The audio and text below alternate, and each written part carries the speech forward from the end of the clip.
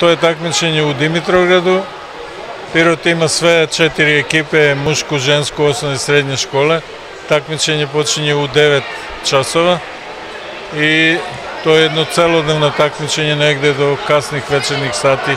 Znaćemo ko je osvojio prvo mesto u, u te četiri kategorije i ko ide na međuokružno takmičenje, a međuokružno je krajem novembra ili početkom decembra u, u, u Vranju, a 19. novembra krećemo sa košarkom za srednje škole.